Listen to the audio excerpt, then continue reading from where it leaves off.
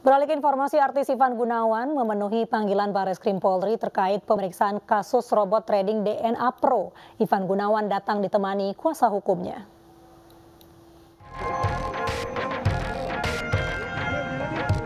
Selebriti Ivan Gunawan mendatangi Baris Krim Polri sekitar pukul setengah tiga sore untuk diperiksa penyidik Direktorat Tindak Pidana Ekonomi Khusus. Artis yang biasa disapa Igun ini diperiksa terkait kasus robot trading DNA Pro yang diduga merugikan anggotanya hingga 97 miliar rupiah.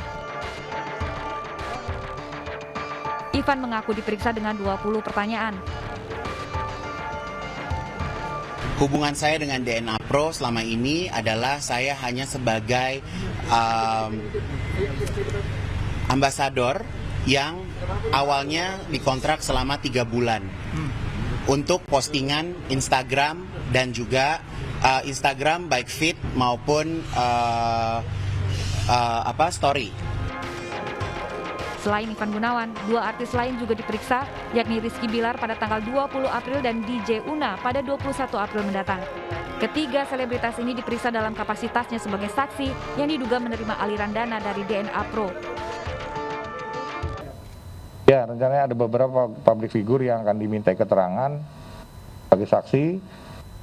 Dan untuk minggu ini satu public figure yang akan diminta keterangan, inisialnya tadi sudah saya sampaikan. Tanggal 14.